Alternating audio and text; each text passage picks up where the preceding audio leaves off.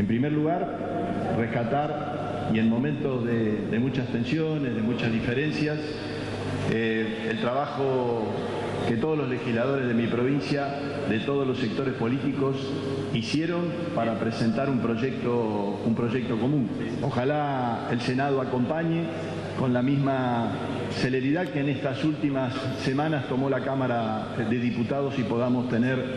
este instrumento legal que fortalecerá una estructura de justicia federal raquítica, como la hemos definido nosotros en la provincia de Santa Fe, que prácticamente no ha tenido cambios en los últimos 40 eh, años.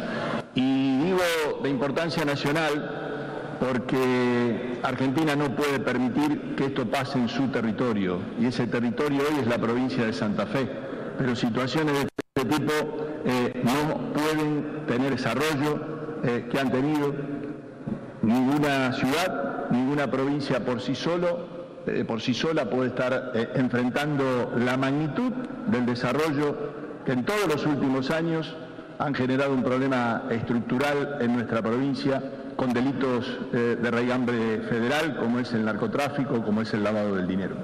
Y ojalá en un año electoral todos los candidatos a presidentes pudieran unificar una política común de cómo enfrentar el delito, pero fundamentalmente cómo tener una política carcelaria que dé cuenta de la magnitud de lo que hay que enfrentar y que no pueden estar conviviendo eh, los delitos comunes con delitos eh, de narcotráfico y particularmente eh, con los denominados de alto perfil. Necesariamente eso tiene que darse y el control tiene que estar. He hablado con la titular del Senado, he hablado con la presidenta del Senado cuando comenzó a tratarse eh, aquí en diputados este proyecto, pidiéndole, sabiendo que habían eh, acordado las dos comisiones iniciales en su tratamiento, que si era y tenía media sanción, que el Senado acompañara rápidamente. Y es lo que deseo